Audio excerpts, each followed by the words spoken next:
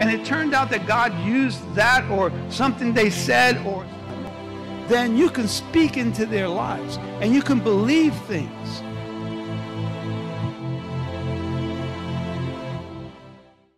Thank you, Lord, for this opportunity that we have. Lord God, you are, Lord God, the giver. You give us every good and perfect gift. And your word says, Oh Lord God, that when we imitate you, when we give, oh Lord God, Lord, it's given back to us in good measure, pressed down, shaken together to make room for more. God, we don't even deserve that, but that's what you do, Lord Jesus. Right now, we ask you to receive, oh God, this worship in our giving, oh Lord God, and that you would multiply it, Father, for the furtherance of your kingdom, Lord Jesus. Father, we ask all of these things in Jesus' name. Amen and amen. Ushers, you may come and collect our tithes and offerings.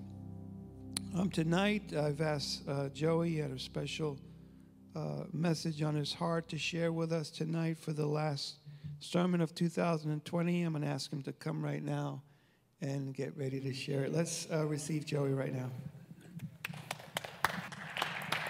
Amen.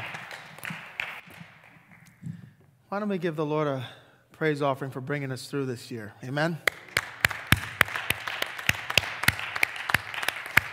Amen. Oh, what a year this has been for the people of God. Time of dis- a lot of discouragement that the enemy has been trying to throw at us because of everything that has been going on. Most of us have been going, all of us have experienced this for the very first time. And, and as we conclude this year, the question is well, what's our hope for 2021? What's our what do we have to cling on to when, when it comes to our faith?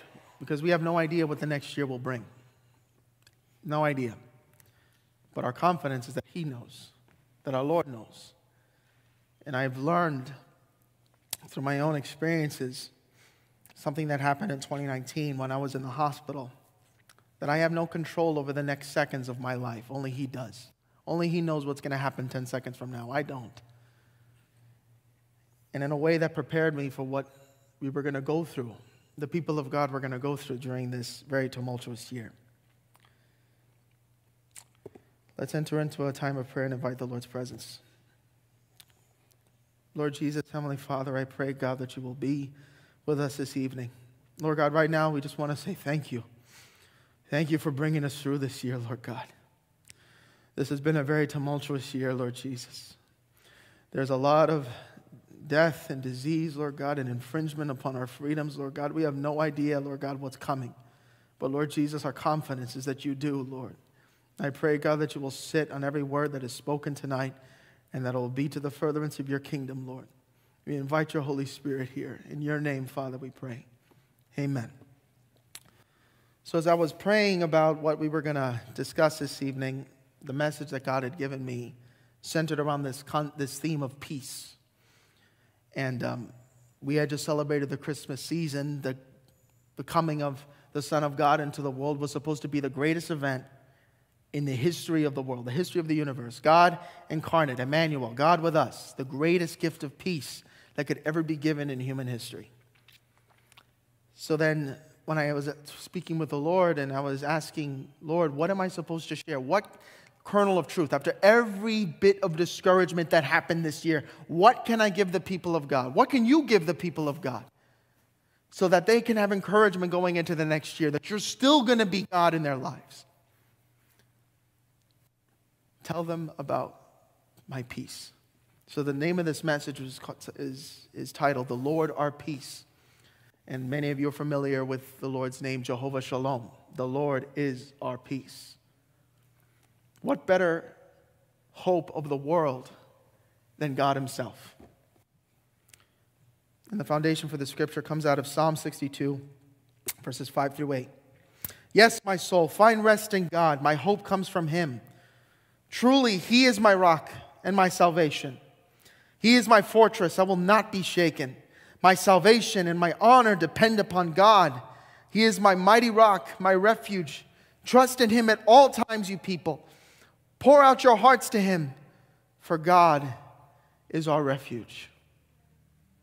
Praise the Lord Jesus. What confidence that we have that amidst everything that happened, God's message to us is take refuge in me. Don't take refuge in the things that are going on in this world. Don't take refuge in the things that you hear in the media or, or by government. Take refuge in me because through it all, I have remained the same. The first point I will leave with you is do not doubt the sovereign God. One of the things that this virus has taught us, this whole experience throughout this entire year, is that it tested our faith. It tested how strong is our faith in God and the God that we serve. Before this whole pandemic hit, where was our faith in God? It was it was, it was, it was full of encouragement and full of life when we weren't going through this, but now that we went through one of the most cataclysmic times in world history, our faith has been shaken to the core. And I speak for myself. My faith was, was, was shaken. Lord, I can't gather with the people of God. I can't go to church. I can't fellowship. I can't, I can't uh, be with my family. My brother has his own family now. I've barely been able to see my nephew uh, who was just born. I mean, Lord, where, Lord, I'm, tr- I'm going to have faith in you. I'm going to have faith in you. But Lord, all of this darkness is all around me. What am I supposed to do? doubt begins to creep into our minds. Lord, are you still protecting? Are you still the sovereign God? Because everything before the pandemic was taught in theory. It was easy to come to church and sit in a pulpit and, and listen to an hour long message and then go home and then that's it for the rest of the week. But now is the time when the people of God are being tried and tested by fire. The Lord had had, had foreseen that this would happen. The prophets foretold that such things would happen. And that the people of God will be tested, their faith will be tested, and whether or not doubt would creep into the minds of the people of God.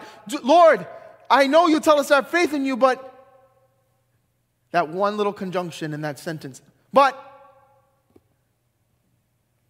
I trust in you, God, but Do not doubt the sovereign God. Matthew 14, 28 through 31. Then Peter called to him, Lord, if it's really you, tell me to come to you. Walking on the water. Yes, come, Jesus said. So Peter went over the side of the boat and walked on the water towards Jesus. But when he saw the strong wind and the waves, he was terrified and began to sink. Save me, Lord, he shouted. Jesus immediately reached out and grabbed him. You have so little faith, Jesus said. Why did you doubt me? During this time of terrible storms, the Lord is calling the people of God out onto the waters with Him. Do we answer in faith or do we doubt Him now when our faith matters the most?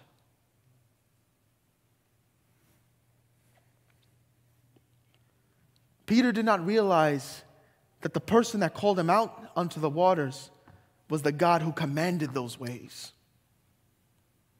the one who had authority over the might of the winds and the waves, was calling out to Peter to come out onto the water. Did Peter know who was calling him? But we find this situation play out again in Mark chapter 4, verses 35 to 41. That day, when evening came, he said to his disciples, meaning Jesus, Let us go over to the other side. Leaving the crowd behind, they took him along, just as he was in the boat. There were also other boats with him.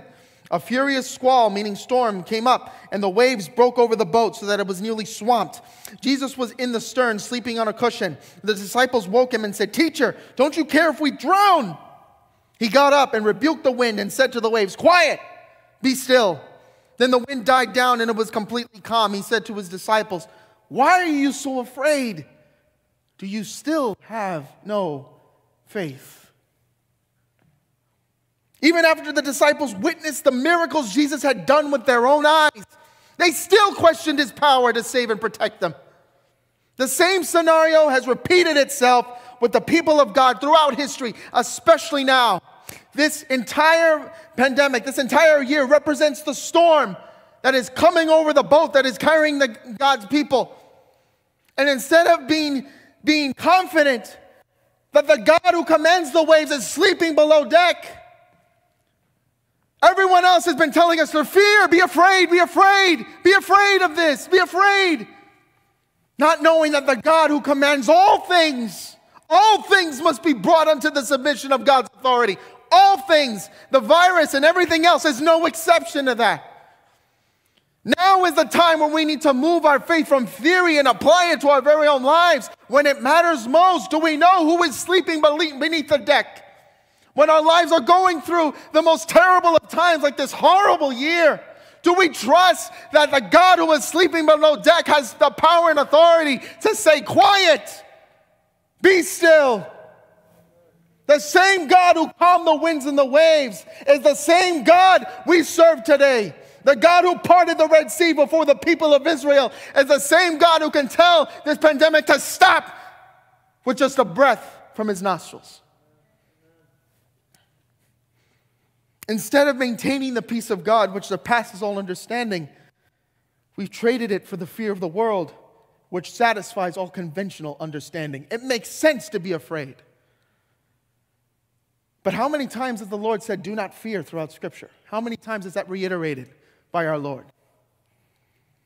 This is what John 14, 27 says. Very clear and straight to the, straight to the point by, by our Lord. Peace I leave with you, my peace I give you. I do not give to you as the world gives. Do not let your hearts be troubled and do not be afraid. Tell you, tell you what, let, just take a look at the world for a minute and everything that the media has been telling you and everything that governments have been saying, whether it be here in the United States or across the world. What exactly have they said that have given us any ounce of peace over this whole year? I do not give peace as the world gives. What does that mean? How, in, well, Lord, okay, I, I'm trying to understand. You don't give peace as the world gives, so what kind of peace is it? Well, think of the scenarios that we just read. Every time that the Lord had said, Why are you still afraid? It was always in a situation of complete and utter torment.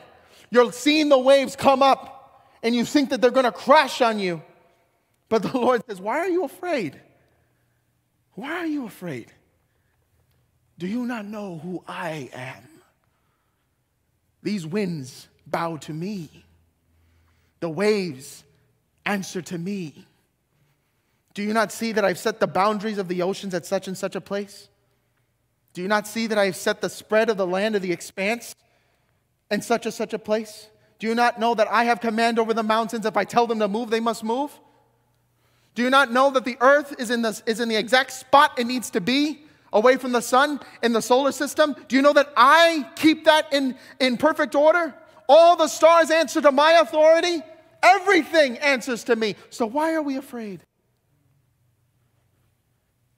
People of God, there's no reason to be. Because the God who oversees all, the God who has authority over all, is still in command. Note that in John 14, 27, when he says, Peace I leave with you, my peace I give you, there's no exception to Jesus' stipulation to not, let, to not let our hearts be troubled and to not be afraid. Why is that? Because he is still in command, he's sovereign, his word still has control. Nothing, not even death itself, can circumvent his power. Jesus proved that on the cross. Death, the final, the, the, the final foe, was defeated. And not even death has any sway over the lives of the people of God. Not anymore. We've been set free. The Bible says, when the Son is set free, is free indeed. And you know what that includes? Freedom from the bondage of death. Freedom from death. We have new life. We have reason to rejoice. 1 Corinthians 15, 26 to 27, in the first part of 27. The last enemy to be destroyed is death, for God has put all things in subjection under his feet. And the second point I'll leave with you tonight through it all, our Lord Jesus Christ has remained the sovereign God. The fact that we're all still here, the fact that you uh, who are watching online are still here is a testament to the faithfulness of God in our lives. True, we've been through it. The people of God have, have always been through it. You look throughout history, the suffering of the people of God, and yet through it all, God has remained sovereign through it all. And even though that everyone has been trying to tell you to be crippled and bent in fear, God is saying, Rejoice, take trust in me. This is not theory. This is life. I didn't call you to live in, cow- uh, in to cower in fear, to have, but to have confidence in me that I am still in control. Through it all, I am still in control. Even when the situation seems absolutely hopeless, I am still in control. Even when Jesus himself died upon the cross, God was still in control of all things. So if not even death could destroy our Lord Jesus Christ, how much less now that Jesus is alive?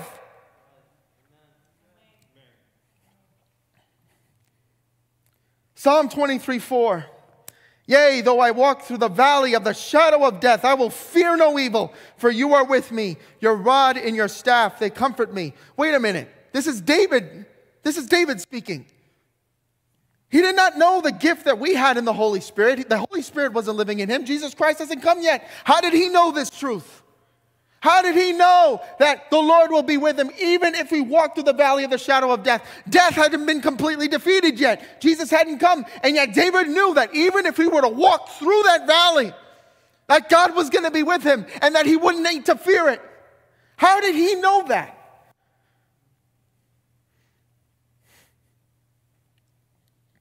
What was there to fear when God Himself was with David?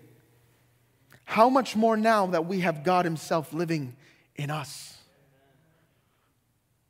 God no longer exists outside of us. The Holy Spirit just doesn't descend upon the people of God and then, then ascend, then leave them. His Holy Spirit now lives as a deposit within you. That incredible gift was purchased for you at an incredibly high price. And I'll tell you this people of God, I'm a, I like to think of myself as a rational thinking man because I am, but guess what? When all of this went down, no reason, no any sort of analysis would have been able to give me peace for this season. None. Because I'm a very anxious person, especially when something doesn't seem like it's within my control. And this definitely wasn't. I thought, that's it. This is the, this is the, uh, this is the apocalypse. You know, there's going to be torment and pain and suffering and agony. And, you know, there was, there, was, there was a lot of that. But for some strange reason, I was able to maintain a peace that I didn't, that I otherwise would have never had. And this started in the end of uh, 2019. Was it in September, Papa, when I was in the hospital? My heart went into atrial fibrillation and I ended up in the hospital. I had no idea if I was going to live until the next day. It just came suddenly like that. I had my plans, I was ready to go. You know, I was, you know, for all I knew that I was going to study for law school the next year. I, I just, I had my agenda set out. But here it is, something got in the way, and now it could cost me my very life. Everything. Okay, whoa, whoa, whoa, whoa, wait a minute. I thought, I thought I was going to live to be 70 or 80. Now I have no idea if I'm going to live the next few hours. Imagine the torment that I was going through. I was alone in that hospital room with all of these wires hooked up to me. I had no idea if I was going to survive the next day. And all I could do was just lift my eyes into heaven and I started weeping and I say, God, I'm sorry. I know I failed you. I know I failed you. I didn't do what you had called me to do. Fear gripped me in that moment. And then in the following day, and then the following day, they were going to get ready to do a surgical procedure on me. And by the grace of God, when they wheeled me into the, into the room where you go into before they take you to the operating room. The doctor walks into my little section. He looks at my heart monitor and says, We don't need to do this operation. You're not broke. Your heart is normal. That was a miracle of God. But the most amazing thing of that was, is that God was reminding me that even when you have no idea if the next seconds you are going to come see me, guess what? I am still in control. I am still Jehovah Rapha, the great healer. So when this whole pandemic hit, I was reminded of what God did for me in that hospital room. So even though I was locked down, when, when my grandmother was passing away because of this whole thing, she, she had passed away earlier this year, and my mother was about to drop because she was her caretaker 24 7. All of this was going on, and I had no idea how, how the church was going to be able to be sustained from all of this. I was able to have peace because I remember what God did for me then. Lord, I have no idea what's waiting for me in about 10 seconds, but you do. And I know that no matter what comes my way, nothing can have victory over me because I have an eternal promise in Christ Jesus that to live is Christ, to die, I gain the kingdom of heaven, and I gain my eternal citizenship with my Lord. Nothing can defeat me. Nothing can take that away. I'd say that as someone who is very much driven by wanting to control things and wanting to make sure that everything is, eh, there's, a, there's, a, there's a solution to the problem. There was no solution to this problem. There was no solution. All I could do was say, God, I turn my eyes towards you. You know all things. I don't. You have control. I don't. You know what's going to happen in the future. I don't. So, Lord, I turn my eyes towards heaven where my help comes from. My help comes from the Lord. And through it all, I have no idea what's coming, but it is well with my soul, and I will see your name glorified above it all.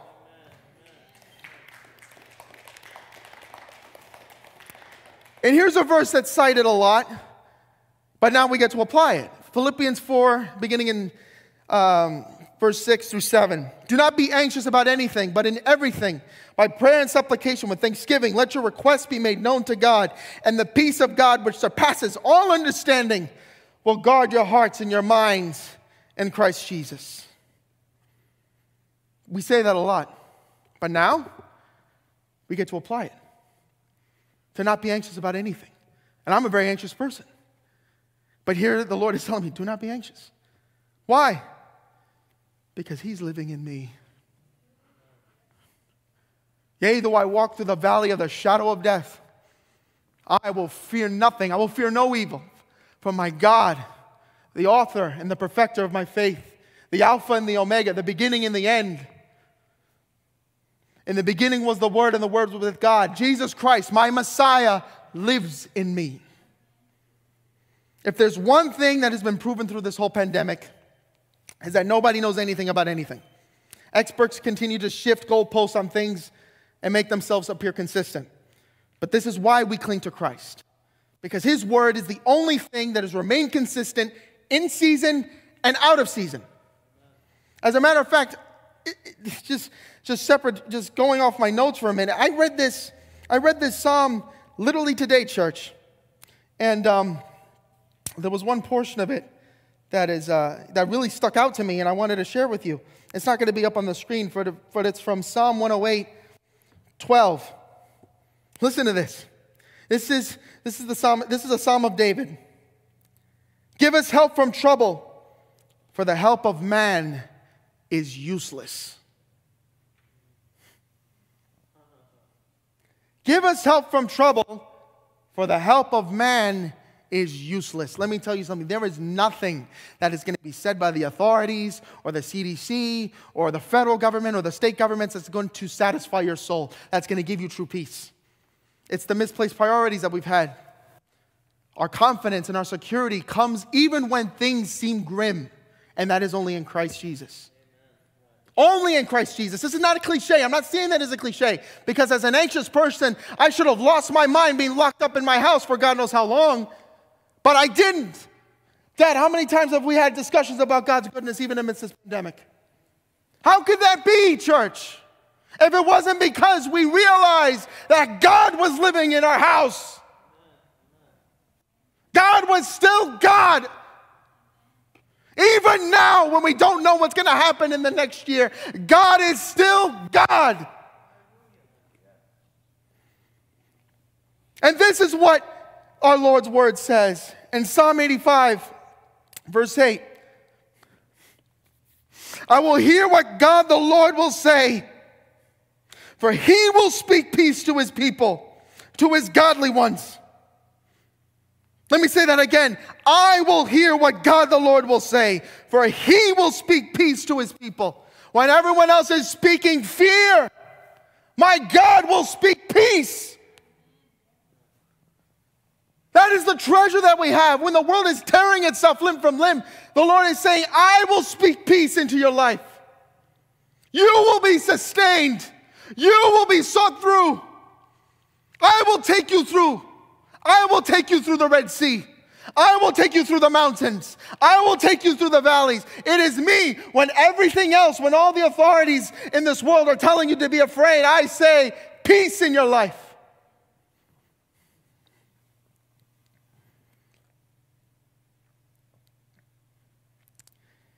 The God who oversaw the creation of all things is the same God who governs all things today.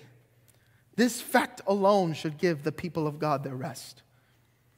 John 16, 33. I have said these things to you that in me you may have peace. In the world you will have tribulation, but take heart. I, our Lord, has overcome the world. Isaiah 26, verse 12. Again, how did Isaiah, how did, the, how did Isaiah, the prophet Isaiah, know this before Jesus Christ could come into the world? How in the world did he have this assurance? O Lord, you will ordain peace for us, for you have indeed done for us all our works. Ephesians chapter 2, verse 14. For he himself is our peace, who has made us both one and has broken down in his flesh the dividing wall of hostility. And the dividing wall of hostility is the wall that had separated us from God because of sin. Jesus had taken down the, that ginormous barrier that separated us from him. So now there is nothing inhibiting him or us from being united together as one. When we accept Christ into our hearts, he takes up residence inside of our hearts. He doesn't check in for a certain season in your life and then leave. He's there as a deposit until you go to see him face to face or until our Lord comes back. He lives in you.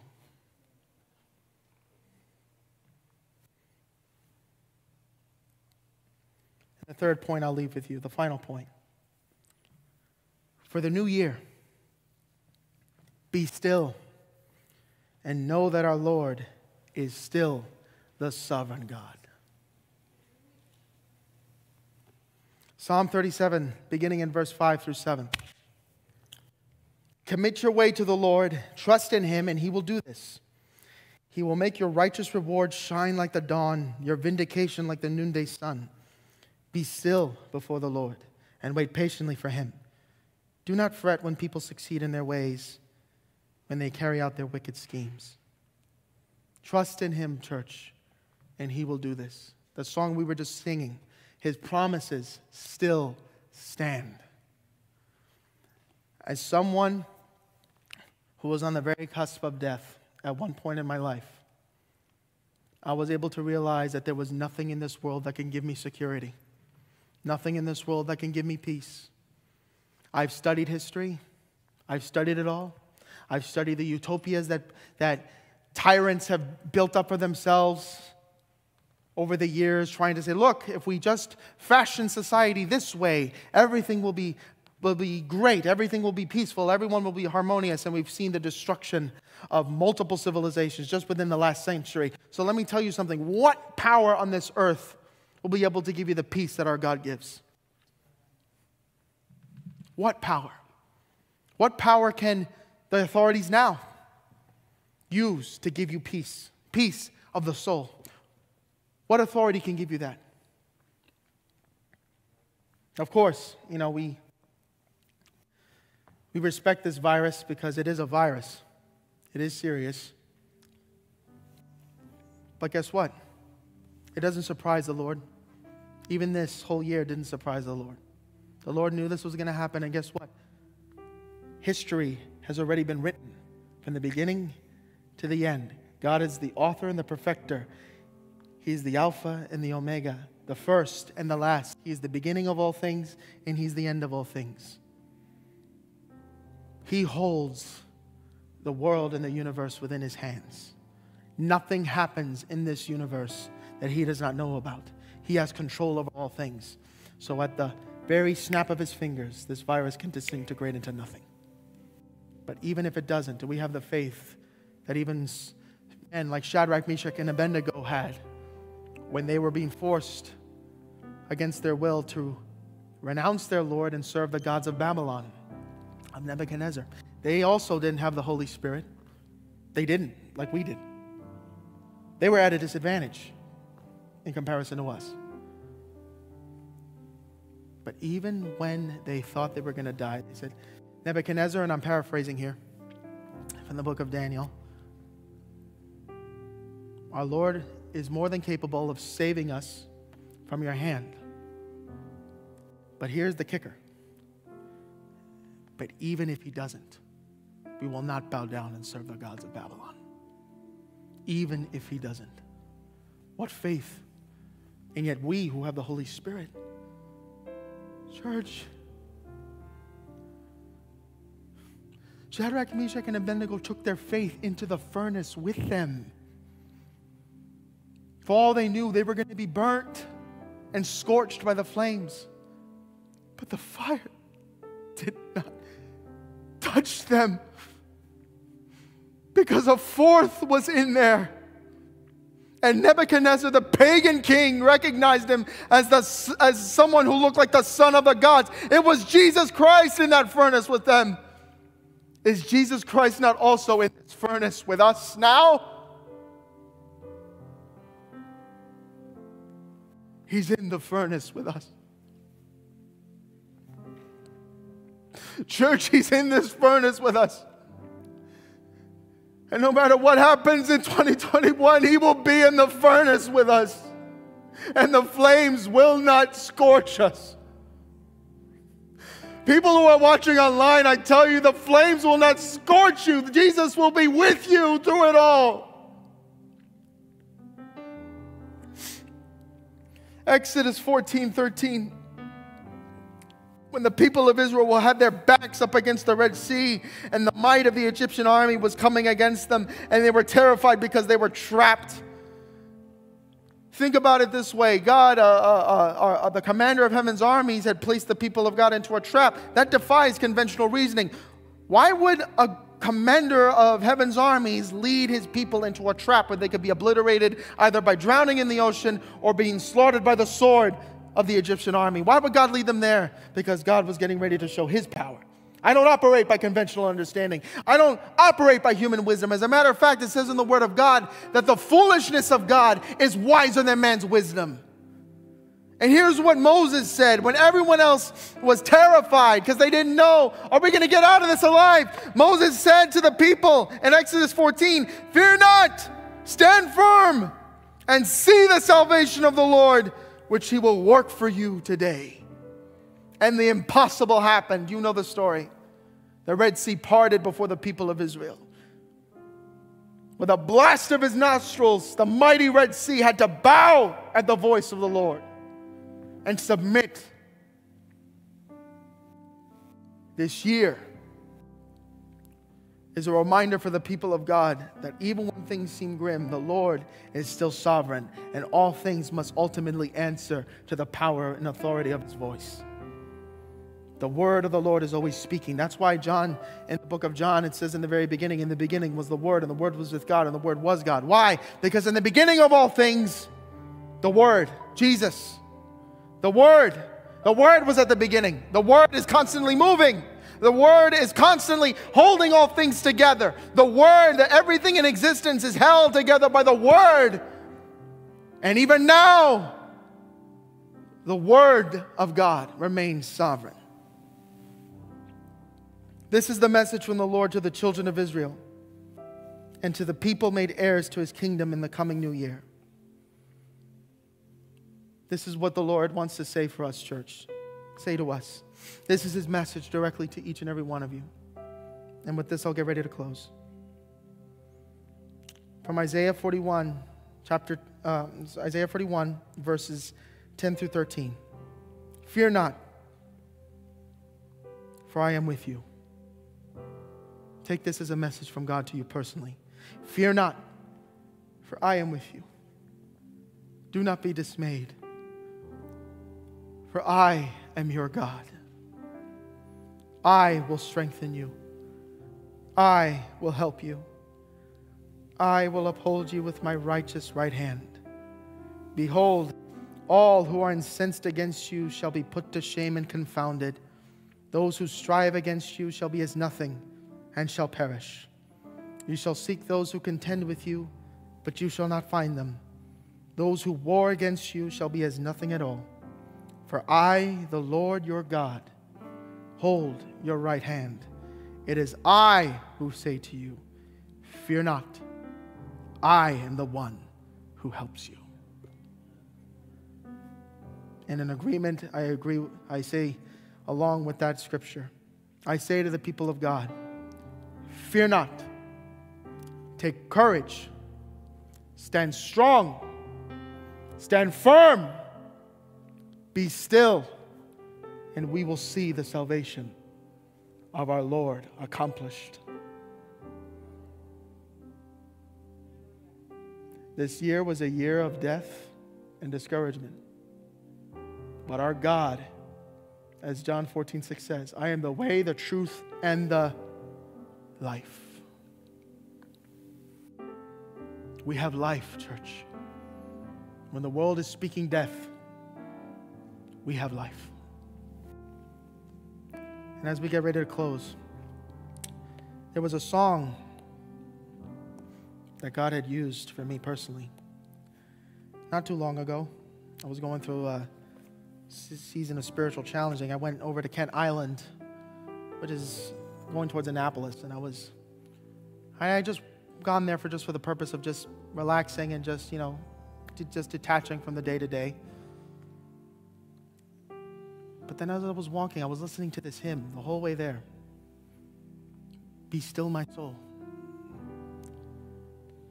And the Lord had turned the beaches of Kent Island into holy ground for me. And while it was, get, it was getting towards dusk, so people were leaving, there was just me. I was standing in the beaches and I fell to my knees. And I gazed upon the expanse of the sea. And a verse from the, from the song says, Be still, my soul. The waves and winds still know his voice who ruled them, even while he dwelt below.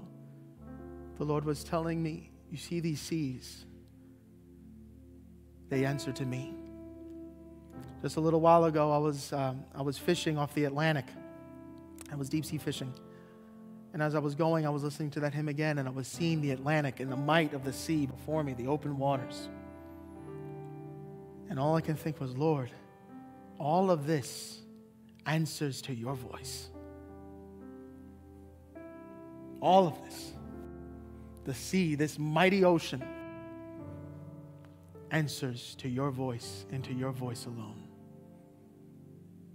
I am convinced, church, beyond any shadow of a doubt that if we remain still, the Lord's power will be revealed to us in a way that we never thought was possible, and it will give us courage as we welcome the new year in triumph.